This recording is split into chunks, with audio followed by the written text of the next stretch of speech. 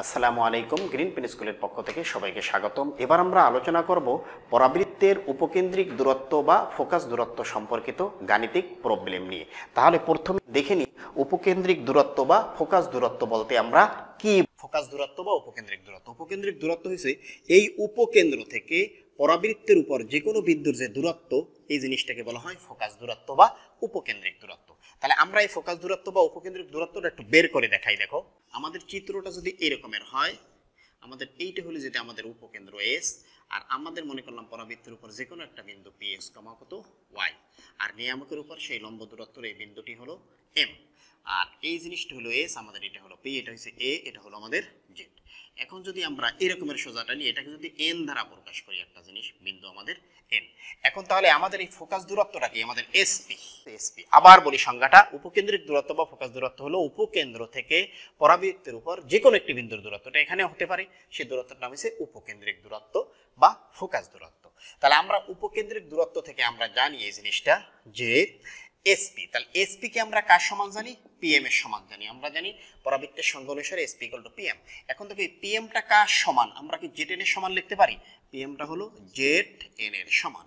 এখন দেখো এই যে জেড এনটা এটাকে কি আমরা লিখতে পারি? A plus Z plus A N এখন দেখো আমরা এ জেড এর কিন্তু মান জানি এ আমরা জানি এস থেকে এই দূরত্বটা এ হইলে এইটুকু এ আমরা জানি এখানে লিখলাম এ এবার আমরা যদি এই এ থেকে শীর্ষবিন্দু থেকে এইটার দূরত্বটা কত? আমরা এখানকার স্থানাঙ্কটা কত জানি? এক্স কমা ওয়াই তার মানে এই জায়গা থেকে এই পর্যন্ত এক্স আর এই থেকে এইটুকু তো ওয়াই তাহলে আমরা এ এন এর মানটা কত জানি? সেই হিসাবে এক্স অতএব তাহলে আমরা কি বলতে পারি যে উপকেন্দ্রিক দূরত্ব বা ফোকাস দূরত্ব মূলত কত? এ প্লাস এক্স এই সূত্রটি আমাদের সামনে অঙ্ক করার ক্ষেত্রে কাজে লাগবে। তাহলে দেখো, এবার আমরা এই সূত্র সম্পর্কিত সরাসরি গাণিতিক প্রবলেমে চলে যাই। Y square equal to sixteen X পরাবৃত্তের উপরস্থ কোনো বিন্দুর উপকেন্দ্রিক দূরত্ব সিক্স হলে ওই বিন্দুর স্থানাঙ্ক তার মানে এই যদি একটি পরাবৃত্ত হয় আমাদের, এই পরাবৃত্ত, আমাদের এইটা হলো সেই এস উপকেন্দ্র এবং পরাবৃত্তের উপর যে কোনো একটি বিন্দু হলো পি এক্স কমা ওয়াই এখন এই আমাদের উপকেন্দ্রিক দূরত্বটা বা ফোকাস দূরত্বটা হলো আমাদের সিক্স এখন এই যে বিন্দুটা এক্স কমা ওয়াই এই এক্স কমা ওয়াই বিন্দুটির স্থানাঙ্ক আমাদের নির্ণয় করতে বলা হয়েছে।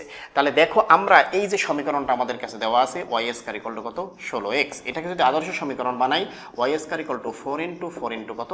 এক্স এখান থেকে আমরা কিন্তু দেখতে পাচ্ছি যে আমাদের এর মান কত? ফোর আবার আমরা এখন লিখব যে আমরা কিছুক্ষণ আগে যে উপকেন্দ্রিক দূরত্বের যে সূত্রটা শিখেছি, কি শিখেছিলাম? এ প্লাস এক্স তাহলে আমরা লিখতেছি আবার উপকেন্দ্রিক দূরত্ব দূরত্ব A plus X equal to কত শিখেছি আমরা? সিক্স এখান থেকে আমরা এর মানটা কত বসাইতে পারি? দেখো Y square equal to four A X তার মানে কত? Four plus X equal to কত? সিক্স অতএব এক্স ইকুয়াল টু কত বের হয় আমাদের টু তার মানে এই স্থানাঙ্কের আমরা এক্সের মান পেয়ে গেছি। পর এক্সের মানটাকে যদি এই সমীকরণে বসিয়ে দিই, তাহলে আমরা কি এর মান পেয়ে যাব? ওয়াই মান। আর ওয়াই মান পেয়ে গেলে আমরা লিখব অতএব বিন্দুটির স্থানাঙ্ক। এখন দেখো, অতএব ওয়াই স্কোয়ার ইকুয়াল টু ষোলো ইন্টু কত? টু তার মানে ওয়াই স্কোয়ার ইকুয়াল টু ষোলো দ্বিগুণ কত? বত্রিশ। ওয়াই স্কোয়ার ইকুয়াল টু যদি বত্রিশ হয় ওয়াই ইকুয়াল টু কত হবে? Plus minus four root two অতএব বিন্দুটির স্থানাঙ্ক। স্থানাঙ্ক কত হবে?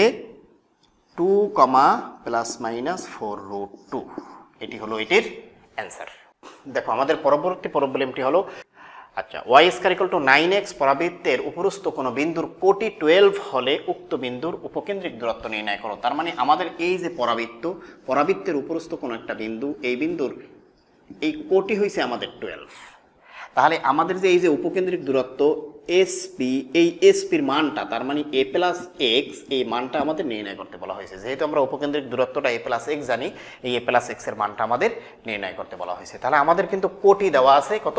টুয়েলভ তাহলে আমরা প্রথমে আমাদের কাছে দেওয়া আছে ওয়াই স্কয়ার ইকুয়াল টু কত? নাইন এক্স এটাকে কিন্তু আমরা একটা সমীকরণে বানিয়ে নিতে পারি ফোর ইন্টু নাইন বা ফোর ইন্টু কত? এক্স এইটাকে রাখলাম আমরা এক নং সমীকরণ। দেখো, আবার আমরা, আমাদের কাছে যেহেতু দেওয়া আছে কোটি টুয়েলভ দেওয়া আছে কি? কোটি ওয়াই ইকাল টু টুয়েলভ এইটা দেওয়া আছে। তাহলে এই মানটাই আমরা যদি এখানে বসাই দিই টুয়েলভের উপরে হলে স্কোয়ার ইকল টু কত? নাইন এক্স এখান থেকে যদি এক্সের মান বের করি, তাহলে কত পাওয়া যায় আমাদের? ষোলো। অতএব উপকেন্দ্রিক দূরত্ব। দেখো উপ তাহলে উপকেন্দ্রিক দূরত্বটা কত হবে আমাদের? এ প্লাস এক্স এ কত পাইছি আমরা? নাইন বাক ফোর যেহেতু Y square equal to four A X কত নাইন বাক ফোর প্লাস কত? ষোলো। এটা ক্যালকুলেশন করলে হয় আমাদের আঠারো পূর্ণ ওয়ান বাক ফোর একক। এটাই হলো এটির এবার দেখো আমাদের পরবর্তী প্রবলেমটি হলো Y square equal to twelve X পরাবৃত্তের শীর্ষবিন্দু ও উপকেন্দ্রিক লম্বের ধনাত্মক দিকের প্রান্তবিন্দুর সংযোগ রেখার সমীকরণ নির্ণয় করো। তার মানে আমাদের এই যদি একটা পরাবৃত্ত হয়, এই পরাবৃত্তের এই যে শীর্ষবিন্দু এবং এই যে উপকেন্দ্রিক লম্বের প্রান্তবিন্দু, এই একটি একটি একটি। এই যে ধনাত্মক যে প্রান্ত, এই প্রান্ত এবং শীর্ষবিন্দুর সংযোগ রেখার সমীকরণটি আমাদের নির্ণয় করতে বলছে।